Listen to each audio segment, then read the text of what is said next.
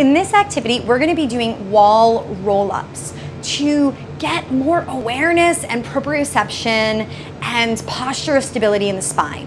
It's gonna undo all of the sitting, forward bending that we do sitting at our desks, driving, and having all of our sensory organs in the front of the body. So to do this, turn, place your butt onto the wall, step your feet forward, keep the knees softly bent.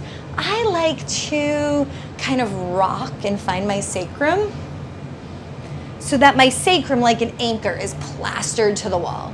Then I round forward. I just let myself roll down.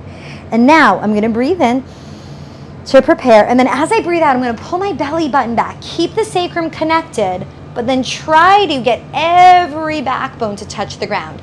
I feel myself losing it a little bit here, so I'm gonna breathe in again. And then I'm gonna exhale, press back as I, I breathe out.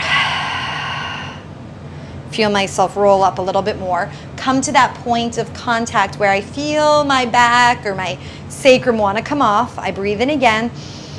The exhale gives me more backward movement. And I'll do it one more time. And now I have my back against the wall. Now I'll breathe in here. And then as I exhale, I want to reverse that motion. And I'm going to bring my chin towards my throat, round through my neck, through the shoulders, shoulder blades, middle of the back. And I want to peel just as I rose every segment off as I come back to the starting position. Let's do that one more time together. I'm going to breathe in. As I exhale, I'm going to feel the backward motion of the exhale. Start to roll me up.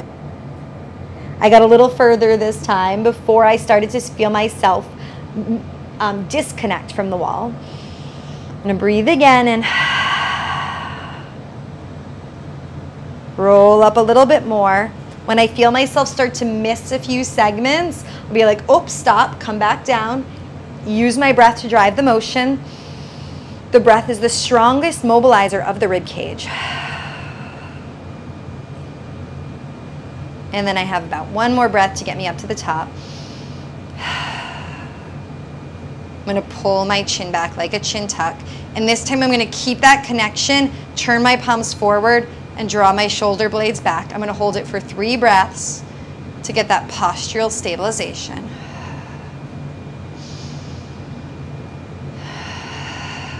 With each exhale, feeling the exhale and that sensation of gravity and feedback from the wall, push me a little bit more into the wall, and then I'll reverse that motion.